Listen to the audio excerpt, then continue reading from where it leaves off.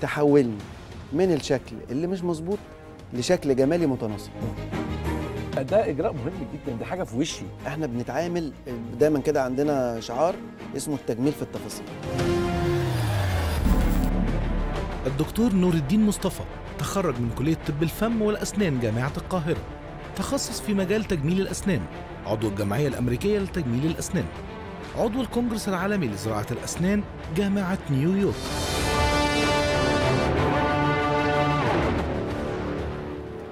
ضيفي العزيز دكتور نور أهلا بيك ومنور دكتور نور. الدكتور. وحشني والله. وحشني جدا جدا. أنا عايز أبدأ حوار الأول عن زراعة الأسنان. أنا حاسس إنه في تخاريف بتتقال. أنا حاسس إن في غلطات جبارة. بس الأول يعني نمسك كده آه، زراعة الأسنان بالراحة ونشوف وصلت لإيه وكلمني. على التخاريف اللي بتسمعها دلوقتي. تمام. الأول إحنا عايزين نعرف بس الناس من الأول خالص يعني زراعة أسنان. إحنا السن اللي ربنا خالقها عبارة عن جدر جوه العظم الفك وطالع منها الجزء الخارجي اللي هو الكراون. يبقى اذا لما هاجي أعمل زراعة أسنان وهعوض سنة مفقودة أو هفقدها يبقى هعوضها بنفس الطريقة. فالزرعة هي عبارة عن أجزاء.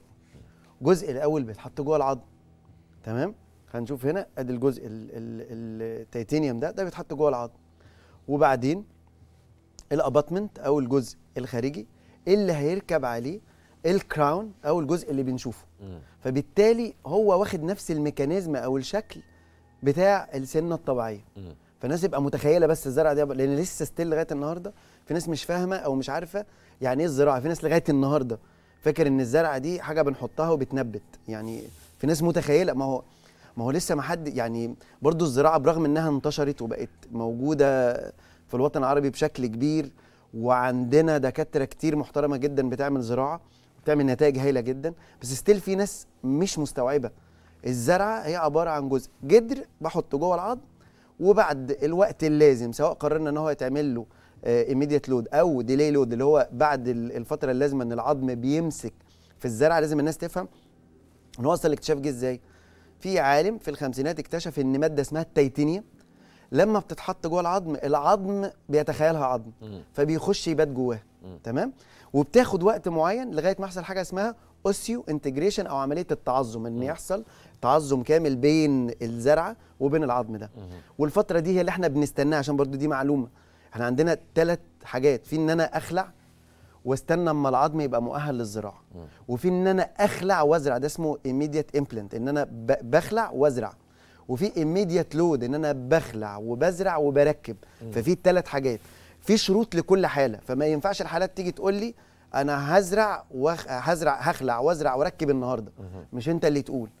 الأشعة اللي بنعملها والتحاليل اللي بنعملها هي اللي بتقرر إحنا هنعمل لك إيه وإيه الأنسب بالنسبة لك. ده بالنسبة للزراعة. عشان الناس تبقى استوعبت بس فكرة الزراعة والإيه وال وال والحاجات اللي مش فاهماها قوي. الزرع عبارة عن جزء بحطه جوه العظم بسيبه الوقت اللازم بعد كده بركب عليه الجزء الخارجي. طيب. برضو هل هكون واقعي لما أقول لك لما واحد يفقد سنه الأفضل له إنه يعمل زراعة ولا يعمل تركيبة كوبري bridge بين تمام. السنتين؟ لأن الحكاية دي يعني آه، أنا أعتقد إنه كتير من الناس بتتوتر فيها. تمام. هو طبعا أنا يعني مش ضد التركيبات الثابتة لأن هي حل standard موجود طول طول الوقت. لكن خلينا نتفق على كذا اتفاق. أول حاجة حضرتك فقدت السنة ليه؟ لأنك ما قدرتش تحافظ عليه طيب لما تخلع سنه انت ما قدرتش تحافظ على سنة واحدة. هتعمل مكانها تركيبة ثابتة يعني هتحضر سنة قبل السنة المخلوعة وسنة بعد السنة المخلوعة وهتركب كوبري تمام؟ الكوبري أصلا آه، طريقة تنظيفه أصعب من السنة الطبيعية. فأنت already ما قدرتش تحافظ على سنة هتقدر تحافظ على كوبري فده الأول concept تاني حاجة أنا التحضير ده عشان أعمل تركيبة ثابتة لازم أعمله عند دكتور متخصص في التركيبات الثابتة. لأن في ناس كتير عملت تركيبات سببت التركيبات في الفيديو اللي إحنا هنشوفه ده. ادي عندي هنا سنة اتخلعت. هنبدأ نحضر الأسنان ونعمل كوبري. هو بما إن إن هو مش قادر ينظفها كويس فممكن يحصل التهابات في الأسنان أصلا. دي كده الزراعة كده هو كده يعني استبدل حط. على طول آه. حط حط زراعة. هنا الزراعة إحنا حطينا الزرعة ما لمسناش السنتين اللي جنب الإيه؟ الجزء اللي اتخلع. فبقى الجزء ده قايم بذاته. حافظ على العظم اللي إحنا زرعناه ده رقم واحد. يعني حافظ على العظم اللي إحنا زرعنا فيه ده رقم واحد.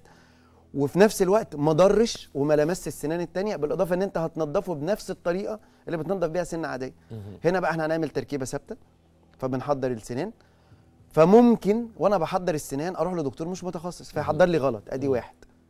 لو الدكتور متخصص وحضرها لي صح وركبنا التركيبة الثابتة ممكن يبدأ يحصل عندي التهابات بقى في الأسنان حتى في حالة الصح. أه، ما هو ما هو دلوقتي أنا ما قدرتش أحافظ ما هو السنة اللي ربنا خلقها لي كانت صح. مم. هي السنة اللي ربنا خلقها دي كانت كانت غلط ما كانت. سنة طبيعية. مم. بص بدأ يحصل عندنا التهابات. هنبدأ نخسر السنان اللي إحنا ركبنا عليها أصلا. مم.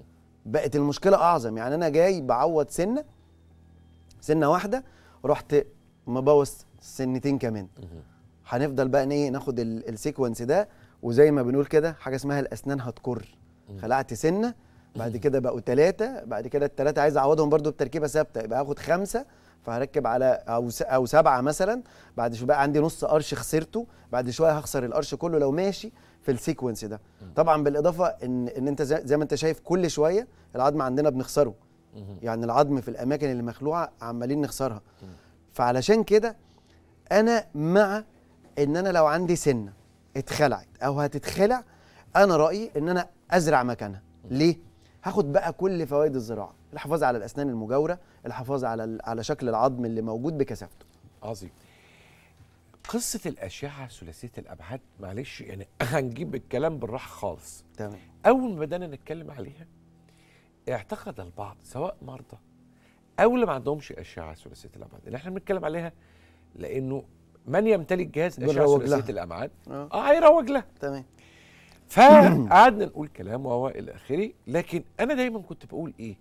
إنه مع مرور الوقت في حالات في كل مكان بتقول يا ريتني الحالة نفسها عملت. عملت أشعة ثلاثية الابعاد.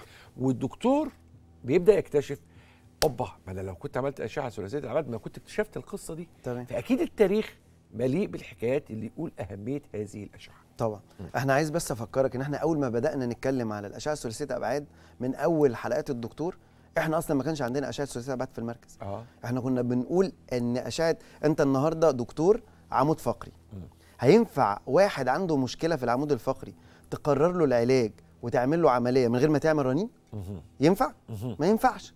صح كده؟ طبعا. طيب مع إن الدكتور ده ما عندوش أصلا رنين يعني ما فيش حد دكتور ما فيش دكتور عظام عنده رنين في العاده عنده. هو بيطلب الرنين دي لأنها من التولز أو من الأدوات التشخيصية المهمة جدا عنده. وإحنا لما طالبنا إن الحالات تعمل أشعة ثلاثية أبعاد مش بنطالب عشان إحنا كان عندنا لأ كنا كانت الحالات كنا بنبعتها مراكز متخصصة عشان تعمل أشعة ثلاثية أبعاد. لأن زمان كانت الزراعة لما كنا بنعتمد على الأشعة البانوراما دي أشعة 2 دي ثنائية الأبعاد. فبتدينا معلومات قليلة. وبتسيبنا نست... نستميت أو ن... أو نقدر كمية العظم وطوله وارتفاعه. لا طب أنا عندي أشعة زي دي زي ما أنت شايف كده. أنا الأشعة دي قبل ما بنزرع دكتور الجراحة المتخصص في الجراحة بيعمل بلان بيعمل خطة للزرعة بتاعته لغاية التركيبة. يعني هو مش بيحط الزرعه بس. الزرعة دي لازم تتحط في اتجاه العظم صح. أنت شايف إحنا عمالين نحرك في الزرعة عشان نحطها بالظبط في مكان العظم باتجاهها لأن لأن العظم نفسه ليه اتجاه أنت ممكن تبقى أنت متخيل إن إن العظم ده مثلا واخد 90 درجة مع مع وشك وهو واخد مثلا 45 أنا لازم أخش لأن لو دخلت ب ب ب بالدرجة اللي هي 90 دي أنت ممكن تعدي من العظم. يعني تخش فيه آه تخش في العظم لكن تقوم معدي. انت لازم تبقى شايف العظم فين بالظبط واتجاهه إيه؟ طول وعرض وارتفاع. فأنت كل ال data دي بتاخدها من الأشعة الثلاثية الابعاد طيب أنا عندي دلو- دلوقتي ربنا خلى عندنا آه، العلم وال technology إن أنا أبقى عارف الحالة هحط الزرعة فين بالظبط والتركيبة هيبقى شكلها إيه لأن أنت أصلا المهم من الزرع ما أنا ممكن أحط الز- الزرعة دي ونيجي بعد كده نركب ما نعرفش نركب عليها لأنها اتحطت في اتجاه غلط أو اتحطت في مكان غلط فبالتالي مش مش محطوطة في ال space المتاح ليها أجي أركب ال crown ألاقي ال crown لا جاي يمين لا جاي شمال لا جاي جوه لا جاي بره. لا أنت بتخطط. الأشعة الثلاثية الابعاد هي بتخليك تخطط للزرعة من قبل ما تزرعها لغاية أنت عارف أنا هركب ال crown بتاعي فين وشكله عامل إزاي. فم- فمستحيل يبقى الدكتور عنده ال tools دي ويستغنى عنها. يعني ما يعني أنا مش شايف إن في منطق لده. والمنطق مش ترويجي. ما هو الد... على فكرة الأشعة مش موجود. الأشعة موجودة في مراكز الأشعة. حضرتك كل اللي مطلوب منك إنك هتطلب أشعة ثلاثيه أبعاد تعمل عليها البلان بتاعك وتشتغل. الموضوع الموضوع سهل. مش معنى إن في مراكز في مراكز بقى متخصصة أكتر في الأسنان فبتحاول تسهل على الحالة. فبتجيب الأشعة ثلاثيه الابعاد وبتجيب جهاز السر بتجيب التولز بتاعتها. هو ده ده ميزة المركز عملها. مش معناها إن الدكتور اللي بيزرع وما عندوش أشعة ثلاثيه الابعاد ي- ي- يستغنى عنها لا هيطلبها لأن هي أشعة متخصصة جدا بتديني كل المعلومات اللي أنا محتاجها تخليني أعمل خطة علاجية مظبوطة وأوصل الحالة بدل أنا مش وريتك قبل كده حالات 10 امبلانت 8 منهم بره العظم. طيب يعني يعني إيه أحط 8 8 زراعات بره العظم؟ أكيد ال- ال- السبب إن ما عملش أشعة. لو ما لو أنا عندي أشعة بقى ثلاثيه ابعاد وبعرف أقراها وأنا دكتور متخصص في الزراعة الثلاثه دول توفروا يبقى هعمل أشعة ثلاثية أبعاد هعمل عليها خطة علاجية هحط زراعات صح. إنما غير كده هيبقى عندي جزء تقديري. طب وليه أقدر؟ ما أنا ما أنا عندي خلاص المعلومة كاملة. إيه اللي يخليني أخش في تقديرات؟ طيب السؤال الجاي ده برضو مهم قوي. لما بدأنا برضو من فترة طويلة قوي نقول إن الزراعة ممكن تتعمل في 10 دقائق الناس فهمت غلط. تمام. إنه اعتبروا ان كل زراعة هتتعمل في 10 دقائق آه دي معلومة طبعا. ده إحنا آه. أصلا في كمان ناس يعني في- زملاء طبعا أنا بعزهم جدا. الأول إحنا أول ما قلنا الزراعة في 10 دقائق أول حاجة تهاجمنا جدا. آه طبعا. لأن قال لك يعني إيه في 10 أنا دقائق ناس كلمات قالت لي يعني اتهاجمنا 10 هجوم غير. عادي. آه، آه. بعد كده بقى ترند في مصر. دلوقتي أي دكتور بيعمل زراعة يقول لك الزراعة في 10 أو بقت 10 دقائق دي رقم ثابت. الزراعة في 10 دقائق بقت ترند لدرجة إن في في زميل لينا طبعا بعزه جدا عمل فيديو قال لك إيه؟ قال لك ولازم تعمل الزراعة. هو بيتريق طبعا. قال ولازم تعمل الزراعة في 10 دقائق ولو زادت على 10 دقائق سيب العيان وامشي. طبعا هو عنده حق يقول كده لأن الناس ما بتفهمش. يعني إحنا في نفس الفيديو اللي قلنا فيه الزراعة في 10 دقائق قلنا قلت بعديها على طول يا جماعة وأنا بقول الزراعة في 10 دقائق هتيجي حالة تقول لي أنا أنا جيت لك العيادة وزرعت في ساعة. فأقول لها أيوه يا فندم حضرتك جيتي زرعتي في ساعة لأن إحنا كنا محتاجين نزرع عظم أو العظم غير مؤهل فكنا بنأهله. فعملية الزراعة في 10 دقائق على فكرة أي دكتور زراعة متخصص هي فعلا عملية الزراعة ما تاخدش أكتر من 10 دقائق لو العظم مؤهل. وأنا جايب فيديو live يعني الفيديو ده متسجل live الحالة اتحط ده اسمه ال surgical guide اللي هو إيه بقى؟ الخطة العلاجية. عملنا أشعة ثلاثيه أبعاد واتعمل على أشعة ثلاثيه أبعاد surgical guide ال surgical guide ده مهمته إيه؟ إن إن دلوقتي ال drill هيخش في اتجاهه وفي مكانه مظبوط. بص أدي ال drill. ال drill بي بي بي بي بيخش. الأول هن هن هنشيل جزء اللسه طبعا اللي إحنا نخش الصورة دي مكانه. مكبرة جدا عشان تبقى آه، طبعا. لأن إحنا قريبين قوي من البق. وعلى فكرة أنا عايز أقول لك الفيديو ده لما بنزله للحالات الحالات بتخاف. آه طبعا. بس أنا منزله ليه؟ عشان أنا دكتور. آه. عشان أنا مش راجل بيبيع أنا راجل طبي. فلازم الناس تعرف الزراعة بتتعمل إزاي. مش أقول له أصل إحنا هتخش في مش عارف إيه وما, وما تخافش. هي العملية غير مؤلمة بالمرة. بتاخد بنج وبتتعمل في أقل ما بنعمل عملية علاج عصب. يعني عملية علاج العصب بتخلص في ساعة صح؟ آه. ده ده بعد طويلة. التكنولوجيا الحديثة. آه، آه. عشان أعمل ضرس أربعة كنال هياخد مني ساعة هياخد من دكتور علاج العصب افريج ساعة. العملية ما بتاخدش 10 دقايق عايز أقول لك إن دي خدت تقريبا سبع دقايق. م- لأن ده الوقت الطبيعي على فكرة ومش اختراع. دكتور نور الدين مصطفى ما اخترعش عملية الزراعة. ده عملية موجودة في العالم كله. كل دكاترة الزراعة بتعمل كده. دكاترة الزراعة المتخصصة بتعمل كده ومش حاجة حصري عندنا. ده أي دكتور متخصص في مصر. في الزراعة هي عملية الزراعة لو العظم مؤهل.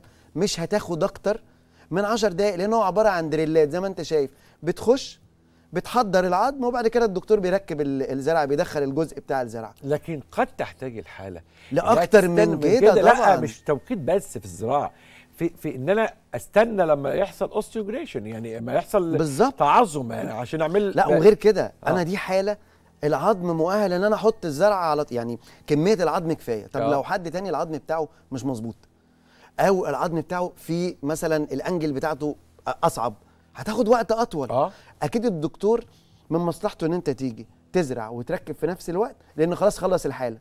لكن لو قال لك ازرع واستنى ثلاث شهور هو عايز يشوفك تاني ليه؟ هو عايز يشوفك عشان مصلحتك أنت. هو بيبذل مجهود ووقت أطول ليه؟ عشان مصلحتك أنت. فالحالة ما تقررش الخطة العلاجية. تيجي تقول إيه؟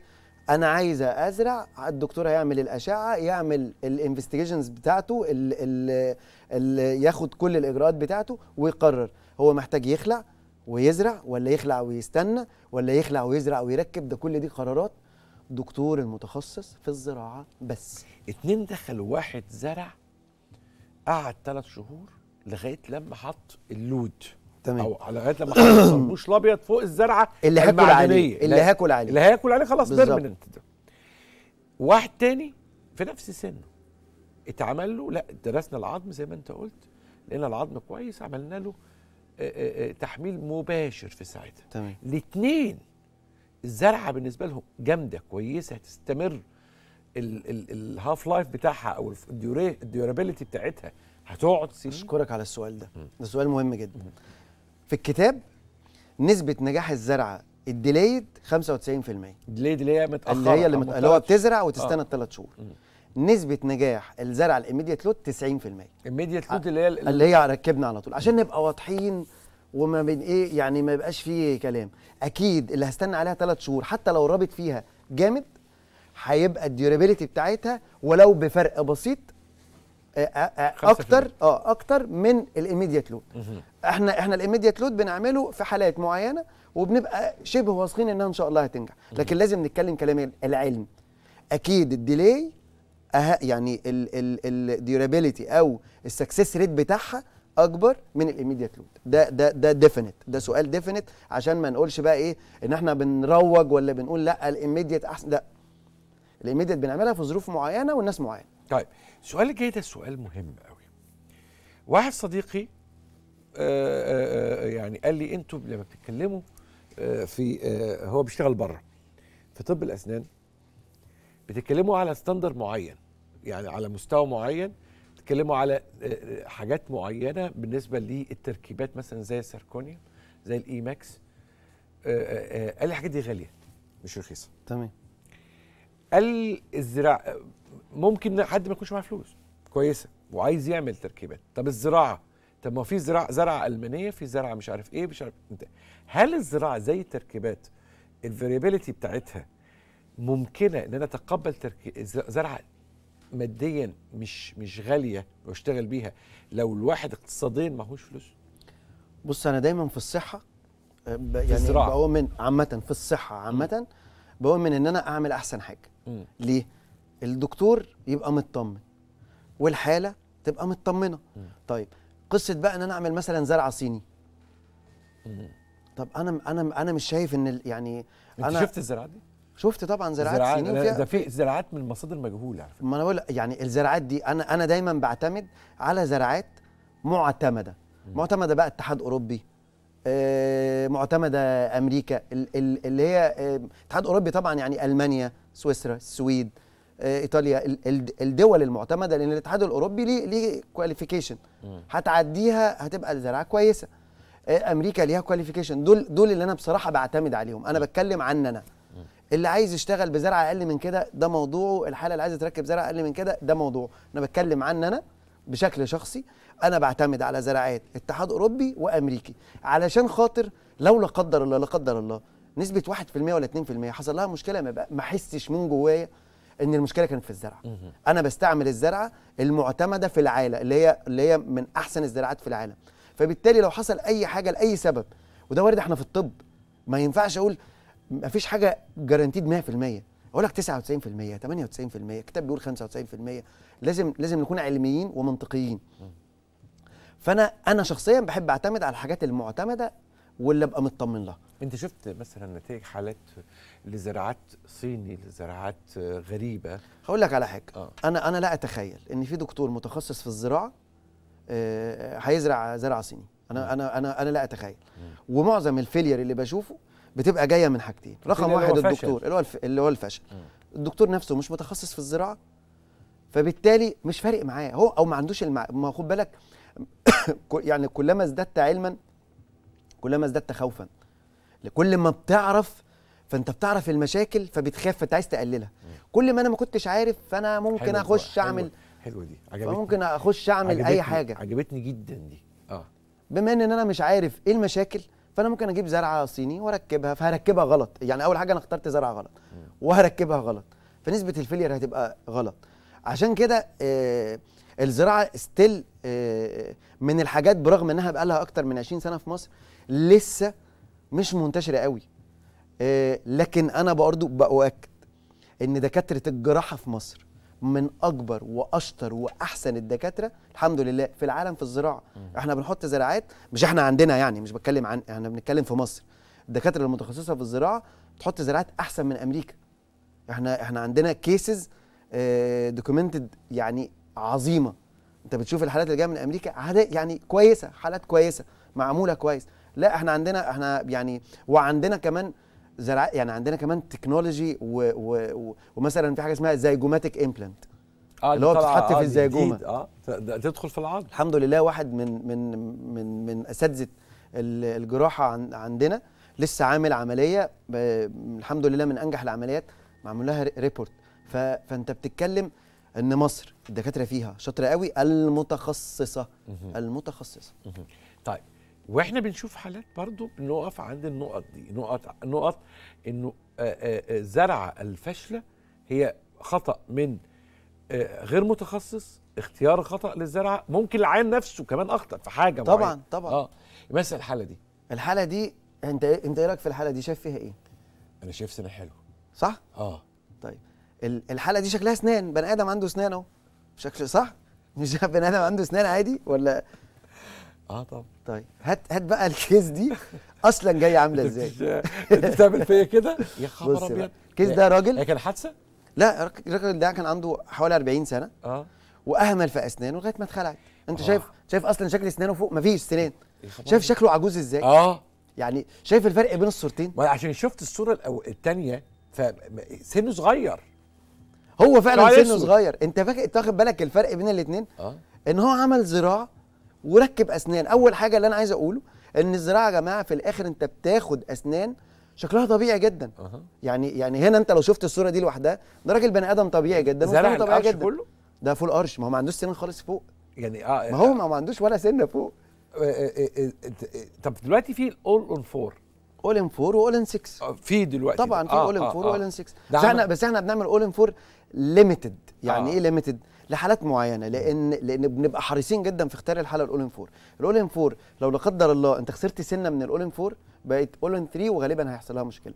فلازم لازم تكون دقيق جدا وتحت شروط قاسية عشان الدكتور يقرر إنه يعمل اول ان 4 بس عجبني إن, إن أنت وهم متفقين معاك راحوا منزلين لي اللي بعد قبل اللي قبل.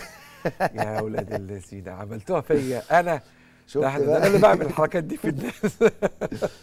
بس عجبتني قوي أنا أول ما شفت الله دي فيها إيه عشان يتعمل؟ أتاري دي بعدين أتاري دي بقى ما إحنا بعد. عايزين نوري الناس ان إن الناس بتخلص الزراعة وبت... وفي الآخر بيبقى شكلها طبيعي. أها. ما وساب ما- نفسه يدمر السنان في سن 40 ما سنه هو في ناس كتير وشاف وشايف شكله وهو عنده 40 سنة شكله عامل إزاي. آه طبعا. أنا عايز أجيب الفيديو بتاع التغيير إزاي شكل الواحدة بيتغير بسبب إن هي خلع أسنانها. يعني يعني بس آه، الفرق حلو ده ده آه الفرق ده الفرق. ما بين حد بسنان وبدأ يخلع أسنانه. إيه التغيير اللي بيحصل؟ ده تغيير المعلومة دي بتهم الستات قوي. آه. إحنا اتعمل سيرفي للوطن العربي. الستات بتلجأ لشد الوجه أكتر في سن أقل من الناس بره. أنت عارف بره بدأوا يعملوا عمليات شد الوجه دي لما اخترعوا اخترعوا الناس عندها 60 سنة و70 سنة. هنا في, في الوطن العربي ممكن عندها 35 و40 سنة ويبدأ يحصل لها ترهل لشكل الوجه بتاعها ليه. دي معلومة مهمة قوي في الفرق ما بين الزراعة وما بين التركيبات عامة. ال- ال- اللي بيخلع أسنان وبيحصل عملية فسيولوجيه اسمها bone resorption أو بيحصل تآكل عظم. للعظم بتاعي. طيب أنا وشي ده الجلد ده مشدود على إيه؟ على ال... على الفكين على الهيكل. مم. طيب لو الهيكل ده بدأ يضمر ويقل إيه اللي هيحصل للو- لل- للجلد ده؟ هيبدأ. يحصل له ترهل. علشان كده المقولة دايما اللي بنقولها إن الفرق بين يعني بين بين بين بين حد شكله شباب وفي الوش وبين حد شكله معجز هو أسنان مش سنين. يعني هنشوف الفيديو كده بص شايف دي. التغيير؟ آه آه آه شايف وشها آه. كل ده كل ده بسبب إنها خلعت وما زرعتش. الزرع هو الحاجة الوحيدة ما أنا لما بحط الزرع جوه العظم إيه اللي بيحصل بيحافظ على العظم. فبالتالي العظم ما يحصلش تغيير الفرق بين الصورتين دول. مش سنين. أسنان. أسنان. وجود أسنان. أنا كتير كتير بس. كتير جدا من آه، بنات أبص عليها جاية لي ستات يعني. جابت آه، أعرفها معرفة وبتاع. تقول لي أنا عايز احقن فيلر قول لي أعمل إيه وبتاع. مش عارف الكلام ده. ببساطه شديدة. 90% منهم مش محتاجين فيلر. 90% منهم بسالهم سؤال كلاسيكي بيستغربوه جدا. أخبار سنانك إيه؟ يقول لي لا ده أنا اسناني بايظة فين اهو مفيش وخلع هنا وخلع هنا. وعاملة تركيبة هنا. بقى السنان هروح له هروح للسنان قبل الفيلر. أقول له لا لها لا روحي للسنان الأول وبعدين نشوف بعد كده هنحتاج. نعمل آه. هنحتاج نعمل ولا مش هنحتاج؟ وما بيحتاجوش. غالبا. ما بيحتاجوش. تعالى أسمعك بقى سؤال لهاني عفيفي تعالى نشوف مع بعض. مع الانتشار الواسع لوسائل الاطلاع والمعرفة ووسائل التواصل والانفتاح على كل جديد في العالم زادت معرفة الناس بأهمية علوم كتيرة كانت شهرتها محدودة زمان زي تجميل الأسنان اللي كعلم وطب موجود من زمن طويل ومستمر في التطوير وتطوير التقنيات والأدوات. ومع زيادة الرغبة في الجمال والشباب ما بقاش تجميل الأسنان مرتبط بس بالمشاهير والأثرياء زي زمان. بحسب الأكاديمية الأمريكية لتجميل الأسنان أكثر من 85% من البالغين مقتنعين إن الابتسامة غير الجذابة تخلي الشخص أقل جاذبية للجنس الآخر وبالتالي بتأثر بالسلب على حياته الاجتماعية وحالته النفسية. ومع الانتشار الواسع للفرع ده من فروع الطب بتزيد الحيرة في اختيار الطبيب المناسب والصرح الطبي المناسب خصوصا إنه علم وطب مرتبط أيضا بفن وحس وذوق الطبيب ومتانة وفاعلية الأدوات المستخدمة وحداثة الأجهزة.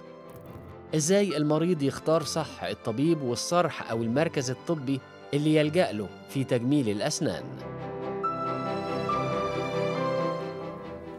هغير السؤال حتة بسيطة في زراعة الأسنان لأن النهارده أي فرع. آه في أي إز- آه، طب الأسنان يختلف عن كتير يعني هو مشابه للجراحات آه، هو الجراحه طبعا. لأنه المساله هنا لو اخطا المكان في التعامل مع مشكله السنان هيعمل disaster هيعمل كارثه. تمام. يعني يمكن مثلا لو حد راح يعمل تخسيس عند حد وغلط آه خلاص ما ما خسش. بالظبط. ما هيحصل إيه؟ آه خد دواء ما بتاع ممكن يما يعني ما يبقاش effective بس صعب إن حد يضر حد بدواء يعني. لكن وممكن ممكن لكن في الأسنان لا فعلا بنشوف مشكلة طبعا. كبيرة. هم مش- هم نقطتين مهمين جدا. أسأل عليهم. الفريق المتخصص اللي هيشتغل لي متخصص ولا لا. يعني أنا دايما بقول للناس اس- اسألوا على شهادات الناس إيه المشكلة؟ أنت مش مش مش رايح تتعالج وأنت خايف على نفسك؟ اسأل في المكان شهادات الناس اللي بتشتغل إيه؟ الموضوع بسيط جدا. عشان أتأكد إن الفريق الطبي اللي بيشتغل لي فريق متخصص. خاصة مثلا في الزراعة. الزراعة لو لو الدكتور مش جراح إحنا إحنا بنتعامل في مناطق حساسة جدا زي الجيب الأنفي وتحت فيه أعصاب زي العصب ال inferior alveolar ده ده ده العصب اللي ماسك نص الفك اللي تحت. لو لا قدر الله الدكتور مش دارس كويس ومش جراح متخصص ممكن يحط الزرعه جوه يخبط أو يقطع ال nerve ده ويتسبب لي في حالة تنميل أبدية خلاص لو اتقطع لو وصل الموضوع إنه اتقطع اذا فأنا بتعامل في مناطق حساسة فيها أعصاب في في في في الفكين فبالتالي لازم يكون الدكتور متخصص جدا عشان ما يحصليش المشكلة دي. تاني حاجة حضرتك لو رايح تعمل بيتك مع مهندس ديكور مش تقول له وريني شغلك؟ بعد إذنك اسأل الدك... وري قول لهم وروني شغلكم أنا عايز أشوف الشغل بتاعكم. ويتأكد إن الشغل ده مش من على النت.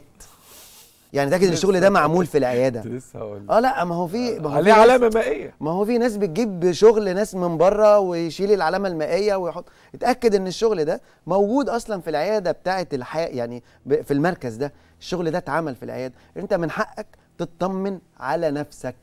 انت قلت جملة جميلة قوي. عجبتني زي ما زي ما قلت زي ما أنا قلت لك ساعتها انت عجبتني الجملة دي.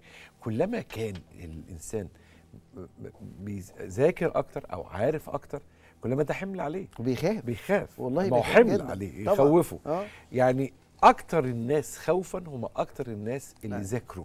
صح. عشان كده دايما أقول إنه ال ال ال الكلام الحوار الطبي لازم يدار بشكل طبي. لازم يبقى من خلال طبعا. أطباء. حد يكون فاهم. لأنه اللي محدش مذاكر أو مش فاهم ابعاد القصة إيه يعني أنا هقول لا اخفي عليك ان أنا بدأت اقرا في كتب الطب الاسنان يعني بدأت أجيب كتب طب الاسنان وده مهم واذاكرها عشان أقرأ على. الأقل لو حد قال لك معلومة غلط آه. أصل أنت مسؤول آه. عن البرنامج ما بالظبط فلو كده حد قال لك أنت معلومة غلط وأنت مش عارف فأنت ممكن المعلومة دي تتروج آه لكن أنت دورك أنت آه، القائم limit. على البرنامج فبالتالي لازم تكون عندك المعلومة على الأقل الصحيحة بحيث إن محدش يقول معلومة مش مظبوطة وده بنشوفه بقى كتير. لا لما واحد يطلع مع حد مش أصلا دكتور ممكن أقول له بقى أنا اخترعت آه، مش عارف إيه وأنا جبت إيه وأنا عندي يعني ال- الحاجات اللي بنسمعها الجديدة. في العالم. آه ال- في ناس في ناس. بتخترع في الطب دلوقتي. في ف- كوميديا في كوميديا. فاللي قاعد مش فاهم. آه في كوميديات طول. ما اللي قاعد مش فاهم قول بقى اللي أنت عايز. ممكن أطلع بكرة وأنا دكتور جلدية واخترعت حاجة جديدة خالص. ما حدش عارف أنا مين ولا إيه الموضوع. وهتلاقي اللي قاعد قدامك بيسقف. إيه؟ جدا. بجد يا ما هو باشا. مش معقول عملت. كده. معقول أنت قدرت تعمل كده؟ مش من معقول غير ما أعرف أقسم ما هو بالله. مش فاهم آه. حاجة هو مش دكتور وما عندوش المعايير الطبية. هو لا لازم أقول لك إن أنت أسعدتنا. وأنا اتشرفت بيه لا. اسعدتني هو عموما إحنا خلصنا.